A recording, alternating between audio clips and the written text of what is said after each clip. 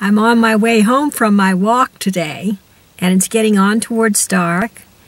And as I was coming down the mountain, I had what they commonly called, uh, what do they call it, a, a team dark attack, which is another way of saying a chance to uh, increase a person's light quotient, you know. It's a chance to observe the dark in ourselves and a chance to pack in the light. So um, I composed a little song. It's a very short song. It's for the those who worship Kali. And Kali, I think uh, I think I got this right. Kali is the goddess of destruction, right? Fire and destruction. And uh, some people are very wicked about worshiping Kali. You know, they feel it's a, an evil thing to do. And in India, it's not like that. You know, you can worship Kali, it's okay. She's just one aspect of the divine.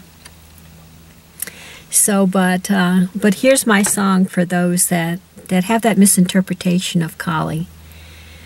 So let's see if I can do it. It's a tune that y'all may already know. And Ji, the word Ji at the end of the song, it means respected soul. So you know. So here's the song. Kali is a devotee of Divine Mother Ji.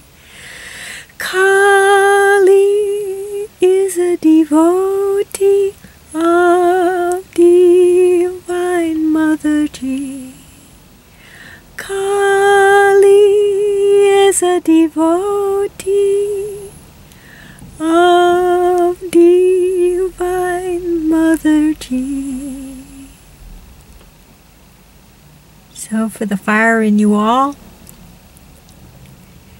may it light the brightest light in your being.